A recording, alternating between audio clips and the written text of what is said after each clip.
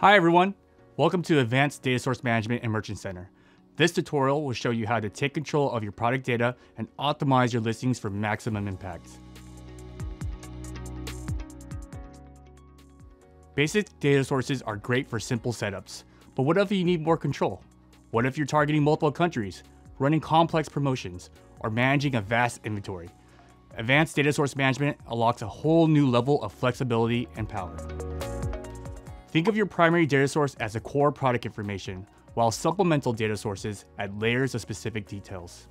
Using supplemental data sources, you can easily update information, manage complex scenarios, and optimize your listings without constantly changing your core product data source. Let's get into a few examples.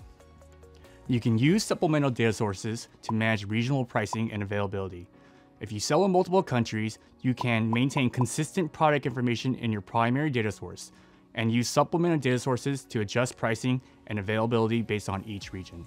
Supplemental data sources are also great for adding custom labels and additional product attributes. You can use them to organize products for targeted campaigns, add specific details not include your main data source, and to highlight seasonal promotions. You can create a dedicated supplemental data source with promotion IDs and link it to your primary data source. Merchant Center will automatically include the relevant promotion information for the products you selected.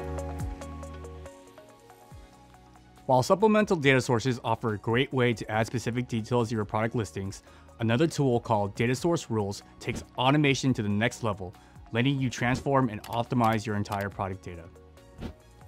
Think of data source rules like mini programs that clean up inconsistencies, extract valuable information, and ensure your listing complies with Google requirements. Here are some examples. Say your product titles are missing brand information.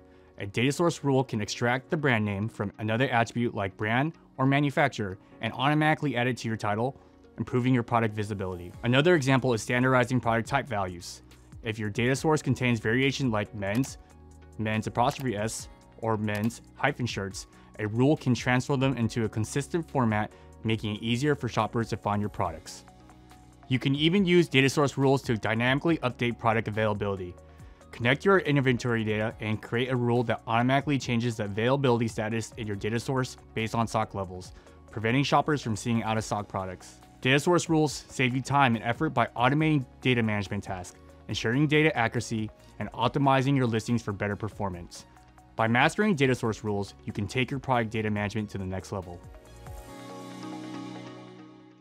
Before applying any changes in your account, it's vital to test your data source rules and see how they'll impact your product data.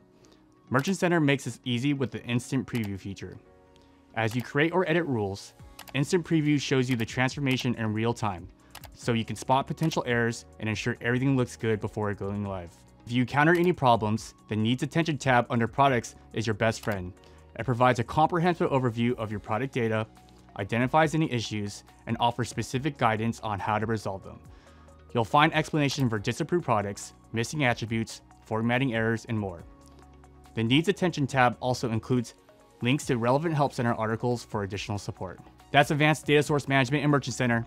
By mastering supplemental data sources and data source rules, you can control your product data, optimize listings, and achieve better results. For a deeper dive, explore the resources linked below. Happy selling!